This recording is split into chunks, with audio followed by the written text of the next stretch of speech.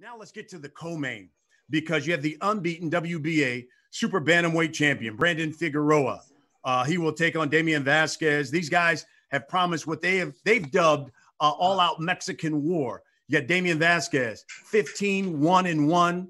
Uh, Damien, let's start with you. Uh, why don't you let uh, the media know how has training during a pandemic gone for this fight and what should they expect when you get into the ring with Brandon Figueroa?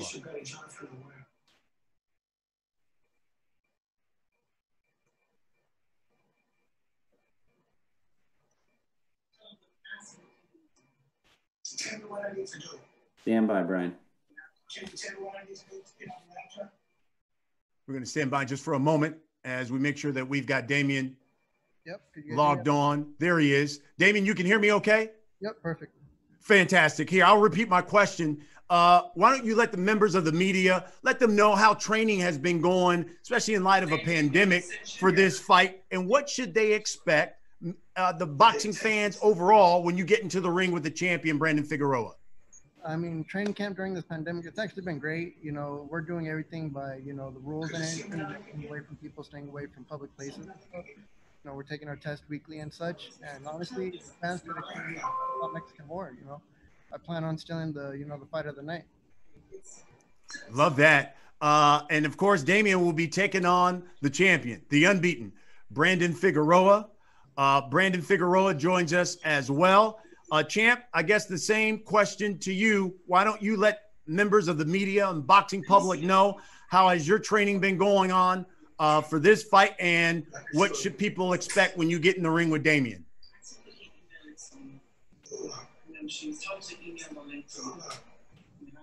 No, Brian, I, I think we don't have Brandon Figueroa. We lost him. So if you want to continue with Damien for a minute. Okay. We'll, uh, we'll Looks like we we've lost the connection with the champion, Brandon Figueroa. Hey, Damien, uh, let, let me let me ask you a couple of questions here uh, while we try to get Brandon back on.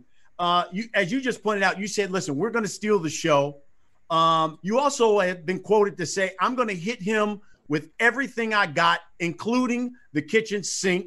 I'm going to show him how a real Mexican fights. I predict a knockout." Do you still stand by those statements? Of course, I'm going to stand by everything I fucking say up until this point, up until the night of the fight. Excuse the language, but it's just the way I am, you know. No, no problem. I- Hey, I, I love the fire. Tell us why. Why are you so confident? Because you know I'm confident in my work, I'm confident in my team. You know, I'm just confident in the work I put in, and I know what to expect. Uh, you know, the fight night. What have you seen from Brandon Figueroa that you said in our training? I got to be careful of this. That's what he has in his toolbox that I need to be careful of on September 26th. I mean, he got some weapons and stuff, but you know what? I know what to look out for him and stuff, you know, and I'm getting ready for him. But like I said, you know, it's going to be a full on Mexican war. So, like I said, all the boxing and shit goes right out the window, and let's make it a phone booth fight and still the fighter of the night. I absolutely love that. Um, listen, I know there are a number uh, of people from the media who certainly want to ask you some questions. So let's bring in Chris de Blasio again. And Chris, I know a, a number of media people have some questions. Uh, let them ask them for Damien Vazquez. Thank you, Brian. Yeah, again, uh, no Brandon on the call, guys, right now. Sorry about that. We'll try to get him back. Um, our first question from Jeremy. Herriges? Jeremy, go ahead. Hi, Damien. How are you doing? Um, thank you for taking the time. Uh, you've been very, very vocal about how aggressive you're going to be in this fight. Is it the fact that it's a championship? Um, what's got you so heated for this one in comparison to other fights? I mean, this is all the marbles on the table for me. You know, I ain't got nothing to fucking lose for this fight. I really don't. You know, this fight changes my life and everybody else's life around me. So you know what? It is what it is. I'm going in there with everything I got. As you said, uh, you have nothing to lose in this fight. Do you think that makes you an even more dangerous fighter with that attitude? Do you think that um, that brings a new edge to you that maybe people haven't seen before? Course, you know, like like I said, I ain't got nothing to lose. So why am I going to be in there, you know, going there and be scared to lose? You know, the Payano fight and everybody that be watching it on the internet and shit, that wasn't me. You know, I had a lot of personal issues going on outside the ring. I couldn't focus completely on camping, but you know what? I got all my shit together. I'm focused now, and I'm ready to go. Last question. Um, obviously, in in Brandon's last fight, he fought to a draw. What did you learn from watching that fight? Yeah, you know what? I'm just gonna leave it at this. You know, I respect the dude. He's a champion for a reason. But when we step in that ring, all my respect for him goes right out the fucking window. Awesome. Damien, thank you for your time and best of luck. Thank you. Thanks, Jeremy. Uh, Carlos Toro, do you have a question? You can unmute and go ahead. Carlos?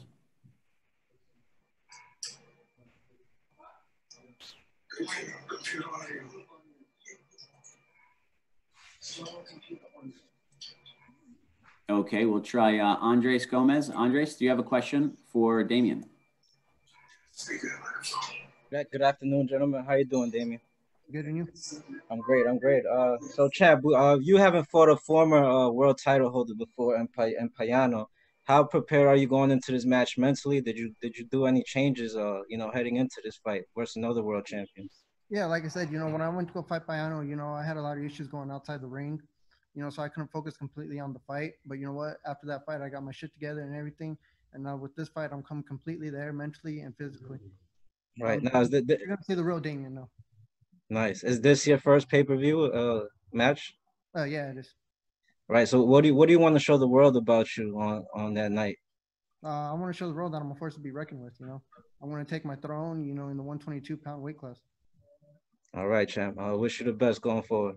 Thank you. Okay, Carlos, we'll give you one more shot here. If not, we'll uh, we'll move on. Carlos Toro, you should be able to ask your question now. Hey, uh, Damien, can, can you guys hear me now?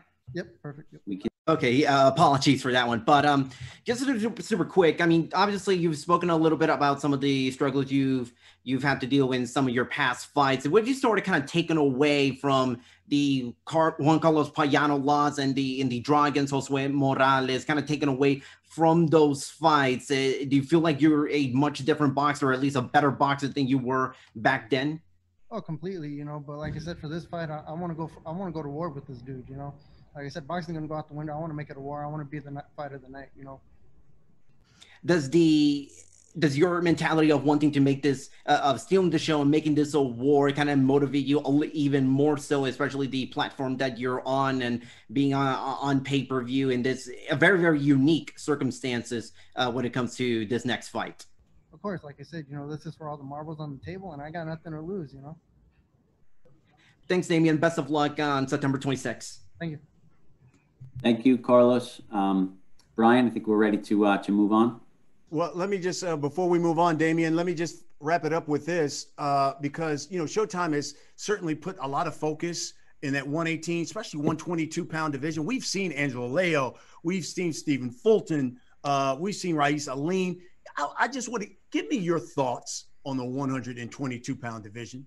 That's a great weight class. You know, there's a lot of fire going on right there, and like I said, I want to take my throne in the 122 pound weight class.